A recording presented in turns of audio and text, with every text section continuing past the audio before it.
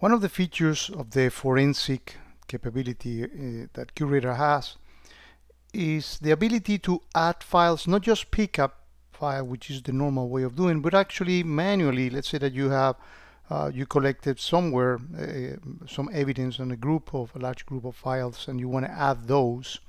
Uh, not again, not on the format of PCAP, but uh, in the standard form, Word documents, spreadsheet, uh, JPEG, GIF, etc. If you go into the admin tab under forensic and case management, all you need to do is actually, as the, the GUI indicates, drag and drop the files here, and they do get indexed. And actually drop those uh, the seven files, seven image files on a on a spreadsheet, and I put it under the, the case uh, Josh and under the collection uh, Josh uh, import. After doing that, if I go to the forensic, I put here uh, to search precisely for that case John and uppercase collection Josh import. Uh, and here are the files. And you can do things like, let's start with file analysis. So I'm going to select all the files as I done before and I'm going to perform a file analysis. And what we get here is, of course, we've seen before, you know, the, some file hash, and that's that's important if you want to see, you know, where else has these particular files seen in the system. You can, the system look for it uh, by the hash.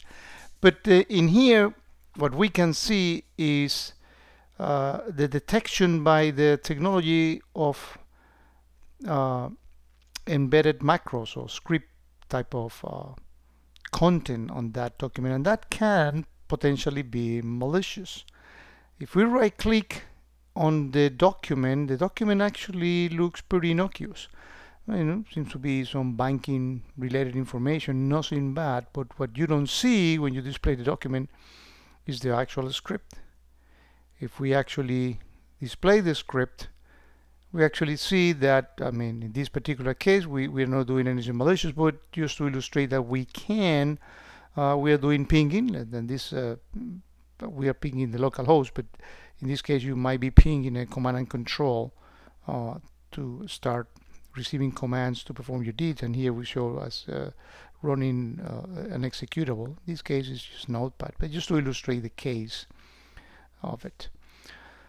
You can also do things like uh, displaying the entropy of the actual file and this is Shannon's entropy. And basically when you get all these kind of a big variation that denotes some potentially uh, uh, interesting information. For example if we do the same operation in any one of the uh, other files we display the entropy we see that you know you get like a, some sort of a constant line. So there's no there's nothing interesting. Let's let's actually do it on on on this one as well and it should be a similar result. You see yeah so there's no interest evidence in there. Let's go back and keep uh, performing all the things.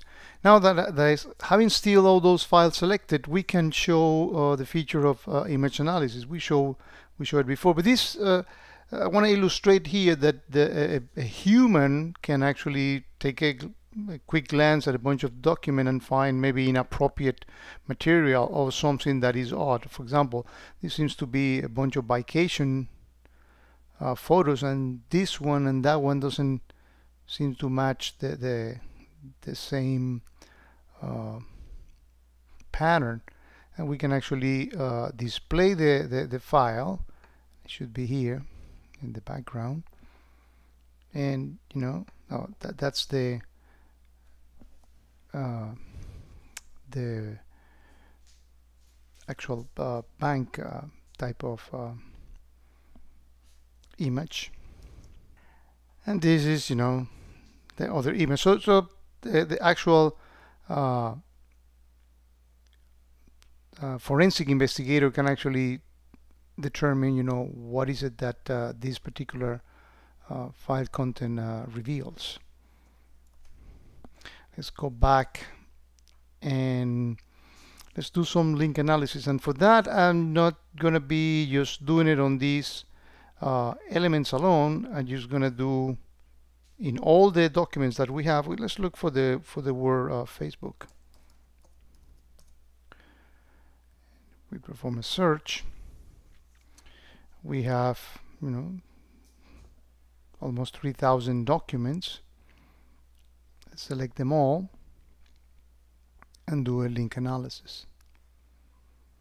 And what we see here is that this is actually somebody using Bing as a search engine.